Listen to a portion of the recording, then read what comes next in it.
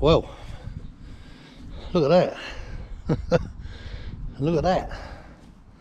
What a mess. Went out yesterday morning someone hit me up the arse in a Merc. His airbag went off, but um, he's made a right mess of this.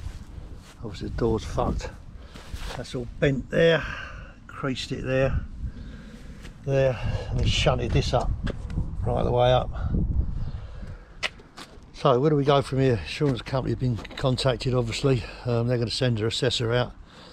Um, they're going to write it off. I know they are, pretty sure they are. Um, it depends how they write it off. There's different categories. Um, if it's A or B, then it can never go back on the road again. Um, I'm really hoping they don't do that because my friend's had a look um, who does this kind of work and he can put it right. He's told me what it's going to cost roughly uh, and it's worth it because I'm never going to buy a van like that for uh, what it's going to cost me to put it right. So that's what we're going to do, hopefully. But I'm going away Wednesday, so nothing's going to happen quickly. And this will be off the road a while, I should think.